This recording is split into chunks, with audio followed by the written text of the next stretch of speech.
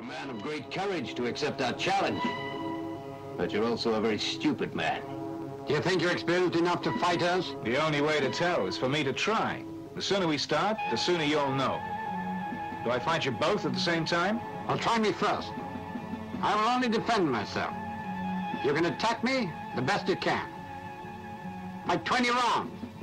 If you can knock me down, you'll be the winner, and I'll retire.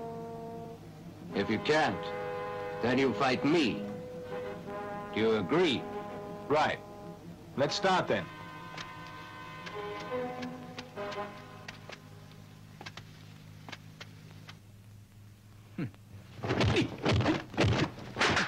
Back.